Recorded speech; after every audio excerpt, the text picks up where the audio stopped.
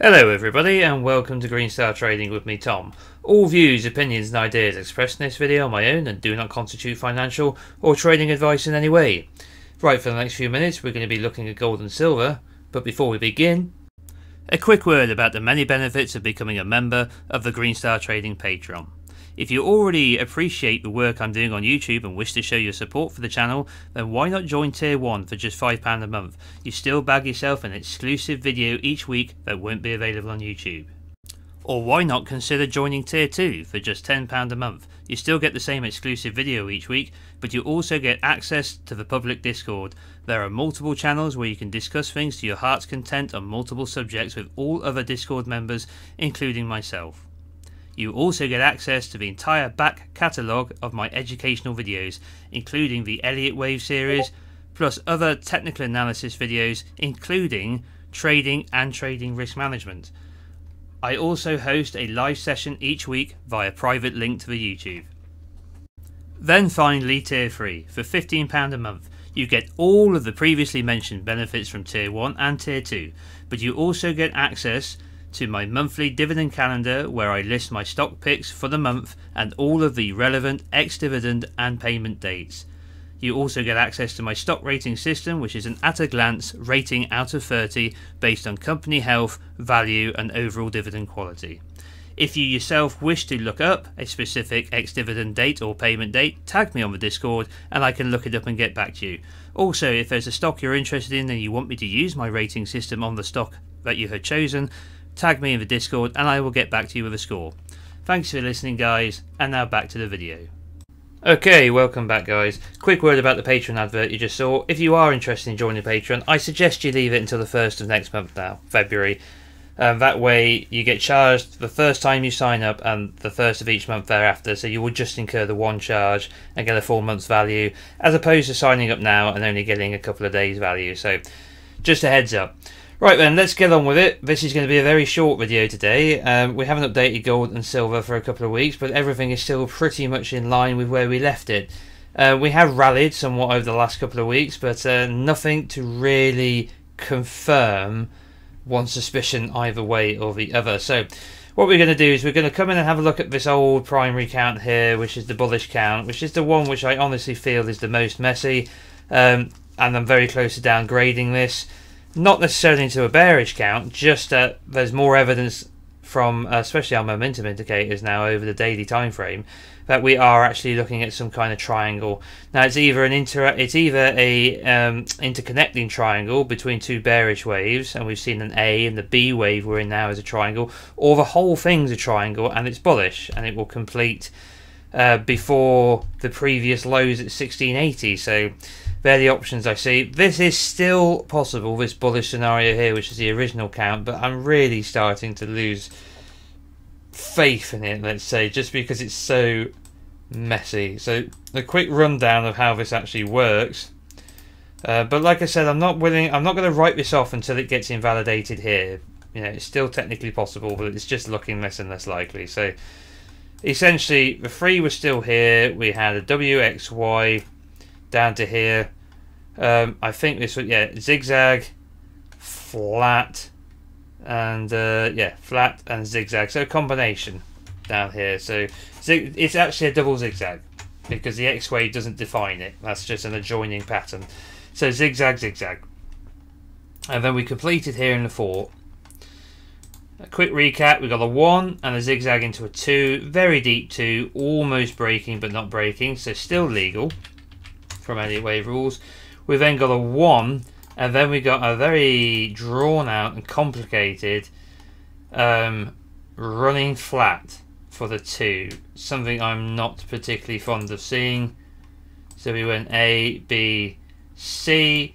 They occur on occasion, but they are the rarest form of flat. If we'd seen the C come down, you know, a little bit lower to take out the A. That would have been an expanding flat, and I would have probably been a bit more favouring this count at that point. But since then, we've then come up in what is either a counter trend move, so we've come down bearishly if we're just putting our bearish hat on for a minute, and we're going up in a three-wave counter trend move before heading lower. Could be doing that now as we've just hit overhead resistance and are selling off. The bullish interpretation from here would have to be one expanding flat into 2, 1, 2, 1, 2, and we're building an extension in a 3, but that's going to get shat on pretty soon, if I'm absolutely honest.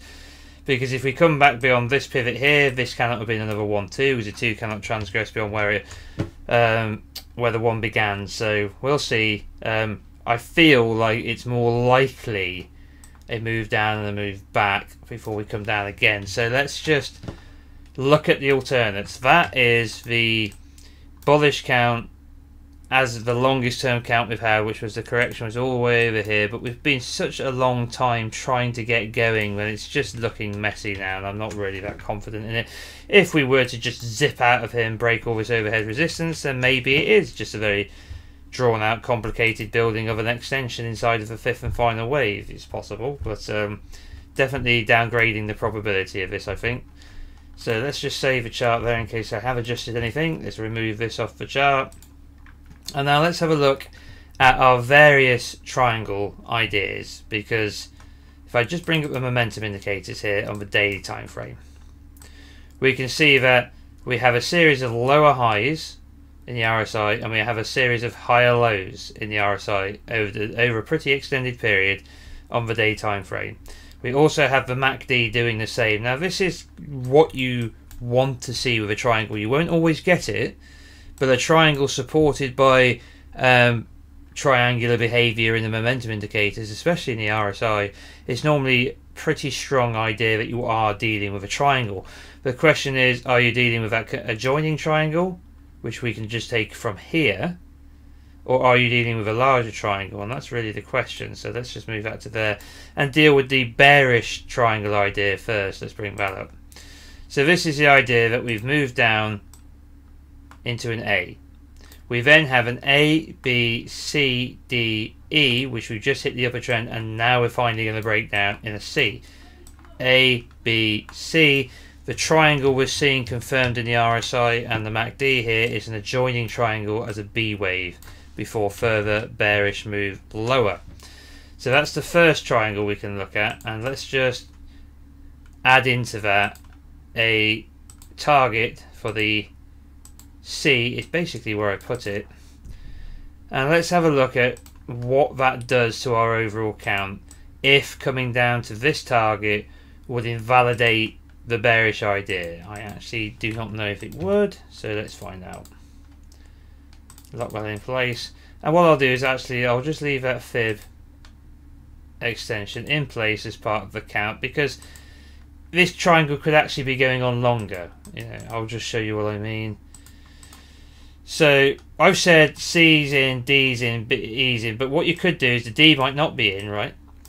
And this could be a counter trend A, B, because it hasn't broken the top here. If it were to break that, it's more likely bullish rather than the continuation of this pattern because we have to have zigzags in a triangle or one complex wave uh, in amongst a bunch of zigzags or a triangle within a triangle is also possible but you shouldn't have both the complex and the triangle within a triangle but anyway whatever. The point is you come down in another zigzag it's a deep zigzag and then we get the D. Okay then we extend all of this out a little bit further. Right and then you get the E finally, and then you break down. But I think that's just unnecessarily convoluted. It's possible, right? But let's just say D and E for the moment, because we've come back to trend down that downward trend, which is very very prominent. Okay, we've hit it, and now we're rejecting, or we're just snagging for the moment, but we could be rejecting A, B, and then C down. We come lower. Okay, so that's one way, that's the bearish count. So let's add those to the bearish triangle. Right, so let's have a look at alternate ways of looking at this.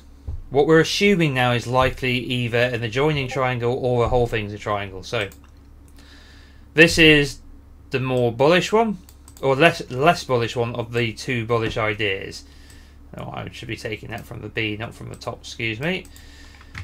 So we still have a move. We still have a move down in three, right? But it's not three into an A. It's three into an A of a triangle. Then we've got B, then C, then D, and now this will be three, as I suspected a moment ago, talking about the bearish option into E, and then we go. Now, if we were to break out of here now violently and knock out the D and the B pivots, which could happen pretty sharpish when gold actually moves, you could argue for an E in place here and it's already in. That's the most bullish. So you've gone A, B, C, D, E's in, and we are doing that 1, 2, 1, 2, 1, 2, and it's an extension, and we'll rock it out of here. At which point it will be very indistinguishable from the bullish count, the primary count, except this will look cleaner as an overall correction, would be my opinion. So that's the second triangle idea. I think there's another, bear with me. Or I think that might be it now. They're the two I that was that one that we're gonna well, we've done the E. Yeah I think I was just expressing both. Yeah there you go. That's the idea that we're gonna come down in A B C here except I've got the complex wave in the A. I don't like that at all. The complex wave should be C D or E not A or B. So I think I just left that and then prefer this instead which is the E's going to either be in the same position as we just saw down the bottom here and this is a free wave move or the E's already in and it's bullish. So I don't think we need to cover another one now. But that's basically the way I see things. It's one or the other. It's either this, and this is A with an adjoining triangle down B into C, or it's bullish, yet to complete, or complete. Now, how do we know this?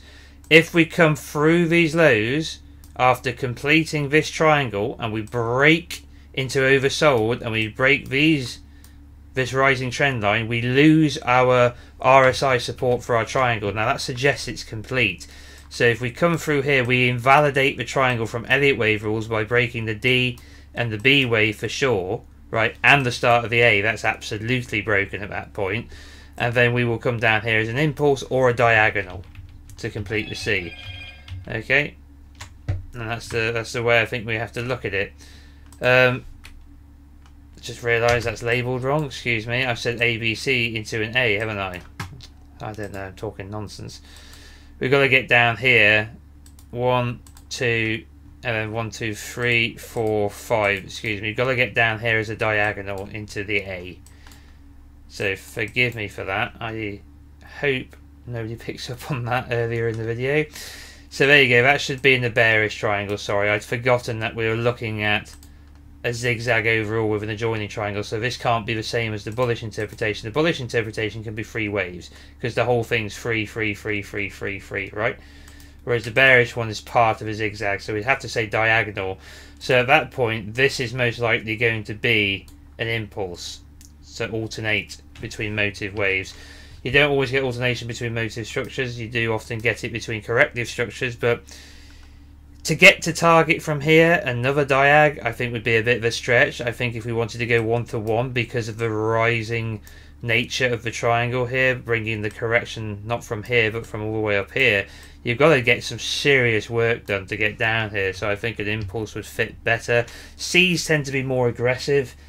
Corrections, um, it, it, it depends um, on the wave degree and the preceding corrective structures, but in this case, I would expect C to be quite aggressive. Okay, so that's how I see um, gold at the moment. I just want to look at a couple of long-term ideas. So, based off of our pivot that we're saying is 1 into 2, um, we've come back to the median line and then we've been really using the 38.2 from the median line and the median line itself as support and resistance, basically channeling 50's been involved as well between the 50 and the median line. Price has been channeling up, forming this triangle. So there's actually not just downward trend resistance here, there's the median line resistance here. We've broken it once, but it is providing some kind of resistance. A break up through the median line again and above this previous high, that's going to damage the interpretation of the triangle to the point where we've either had a complex wave taking us below this height, and we'd have to finish below that height, and that's our complex A, B, C. D wave, be the complex D here, and you still have to finish before this um, in order to remain a triangle. If it breaks that pivot, then there's no saving it as a triangle. We'd have to assume that it's completed, right, and now it's off and it's being bullish, two, three, four, five, and higher. Okay, so we can see how the geometry is still playing out essentially. Now, if we take a retracement of the wave 3 for the wave 4, what's also interesting is the relationship channeling along the 38.2. And if we take the overall retracement for wave 4, we've come to the 38.2 as a retracement, which is the typical target for a wave 4. Now, we overshot in the initial move, but if it is a triangle, we'll work our way back to the 23.6 and the 50 here, back to the 50 here within the triangle, uh, where within the pitchfork, then to the median line and the 23.6, then failing to make the 38.2, then back. So you, we've kind of settled, if we have got the E in, or whether the E comes here back to the 38.2, we're settling very much around the wave 4 target. A much deeper move lower, let's take our bearish projection for a moment, is all the way down here at the far edge of the triangle. Right, that is if we were to reach the extremes. Now at that point, although the count is still valid, we haven't broken 1 and 2, we are dealing with an exceptionally deep wave 4. Exceptionally deep at that point, which leads me to believe that the whole bullish interpretation would have to be re-evaluated at that point, and we'd have to reconsider what went on here and how we got up to the high. I think you'd have at that point no choice but to assume that this whole move was free and not one, two, three, four. But for the moment, geometry holding, pitchfork holding, come to a fib retracement, putting in a triangle supported by momentum. Everything to me at the moment is still saying that this is perfectly acceptable interpretation, and I would argue more favourable than a more bearish interpretation, purely because getting down here, yes, I forced a diag in here to accommodate the count, but it's a bitch.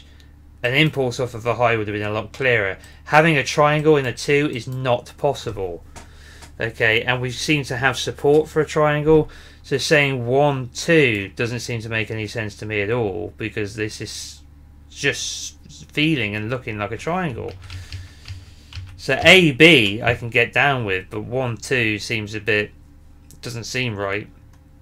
I guess you'd have to go 1 2 no, that's three waves so you can't go 1 2 there. So I can't really see a bearish way down here. Uh, one, two, one, A, B, C, two. No, that got me right. A, B, W, X, Y, two. And then one. Nah, it's, it's just looking like a pile of shit at that point, isn't it?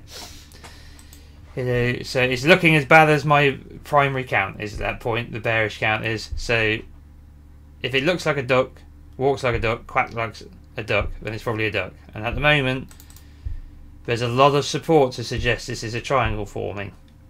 So, bearish or bullish, ABC down, or 3 4 up is more likely, I think, than any count which suggests 1 2 down, would be my personal opinion.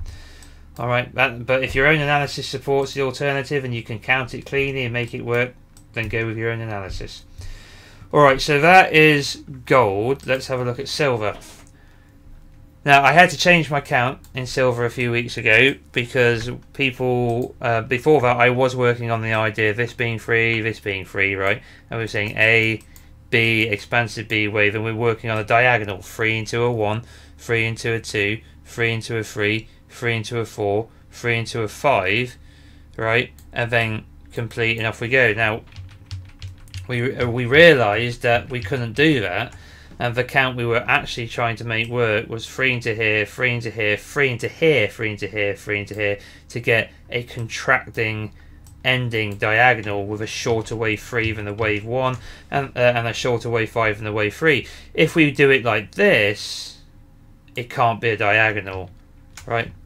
Can't be a contracting diagonal because the 3 is not shorter than the 1 and it has to be in that circumstance. It can't be the shortest overall and therefore must be longer than the 5, but it can't be longer than the 1 in a contracting diagonal. You know, what people like to call a wedge. Each wave gets successively smaller. So that was off the cards. So instead I decided to look at it as free, free, free, zigzag, free zigzag, and now free zigzag to come. So if you think about where we are, right, in the gold count at the moment, we've we've we've bumped into overhead resistance in the gold count. If we just bring up the triangle, we've got this overhead move of, of descending lower uh, highs, right? And we've got the same in this channel here in silver. And part of our count for gold was that this was going to be A, B, C into E for the gold triangle, right? With another move down. Well, this still fits silver, but within this channel of A, B, C into Z of W, X, Y, X, Z.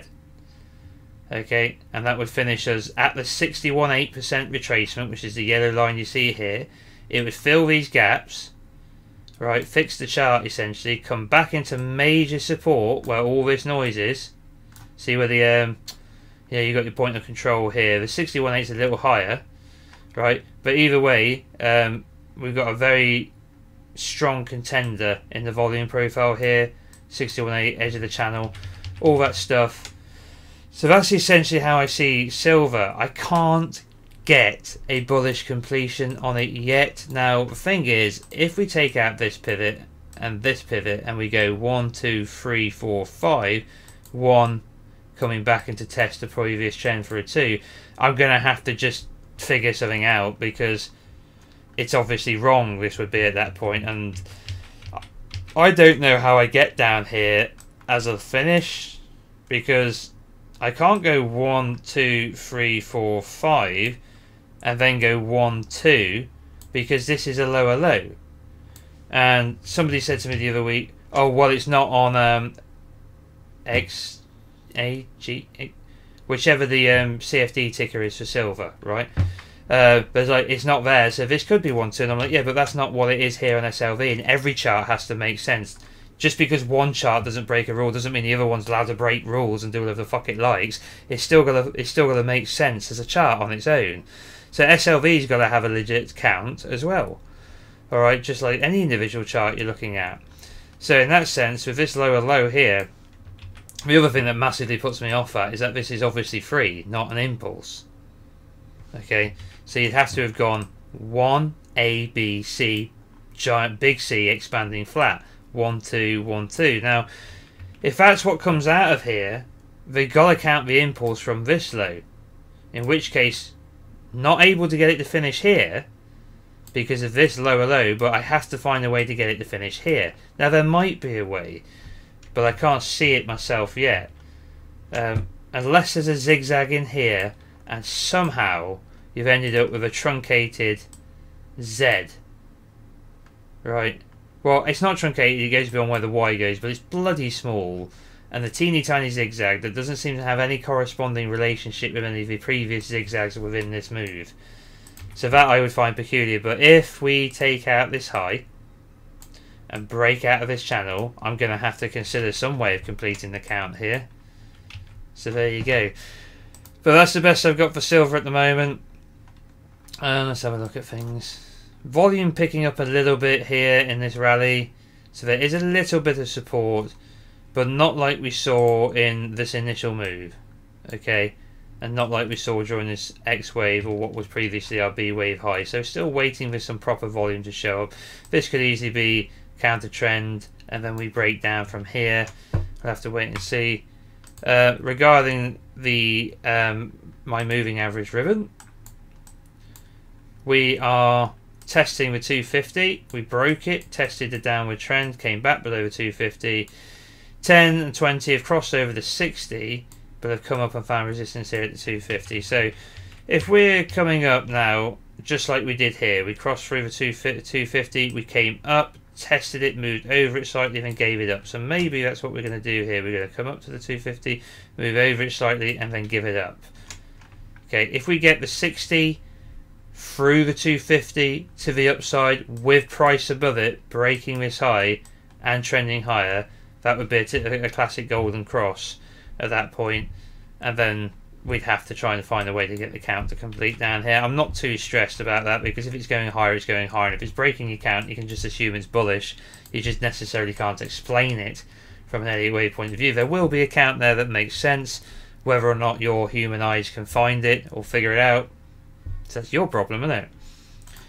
Okay, so that's silver. Looking at some basic technical analysis as well. Let's come back and have a look at gold and do the same and see how it's shaping up. So we've already established the... Um, actually, we didn't bring up our indicators, did we? We got into very oversold conditions down here. And we got bullish divergence, which explains this counter trend rally, if that's what it is.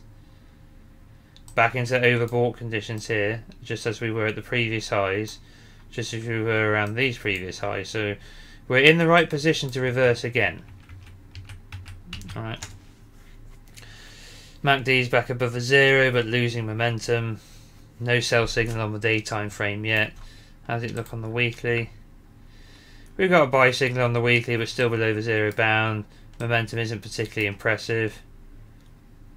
Now what is a bit more compelling is the divergence on the RSI between these lows here.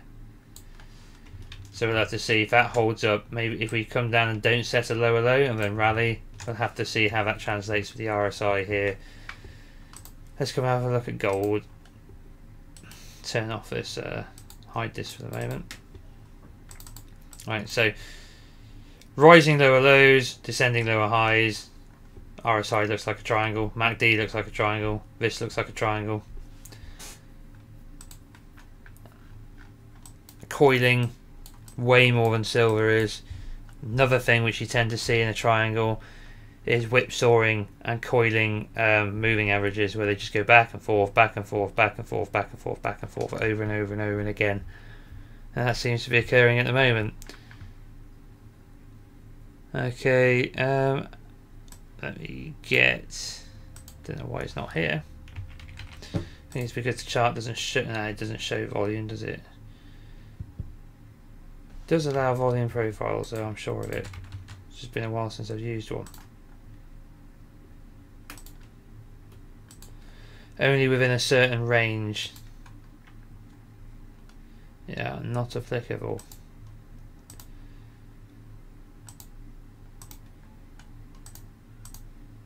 Right, zoom in a bit.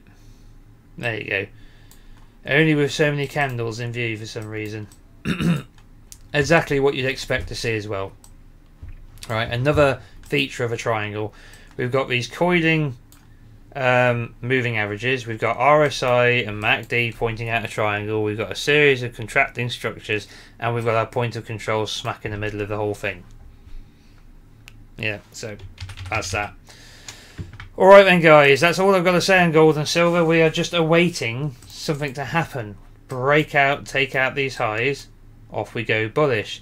Come back to test this. It's either an E or this is the E and we're going to break these lows. In which case we're heading lower. So it's all about this range between this high and the previous lows. Any result above, any result below is a continuation of either this previous trend or the completion of a larger correction and the continuation of this previous trend. Alright then guys, thank you for joining me on this technical analysis of gold and silver. If you're new to the channel and you've liked what you've seen, please subscribe, smash the like, hit the little bell notification icon to remain informed of future video releases.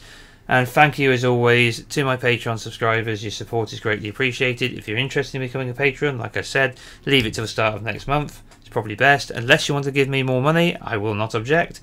And uh, follow the link in the description box below to the Patreon page, have a read of the tiers, see if there's anything you're interested in, and also if you're not following me on Twitter yet, please do so. As I always um, post, what should I say? I always put a Twitter notification up when I post a new video.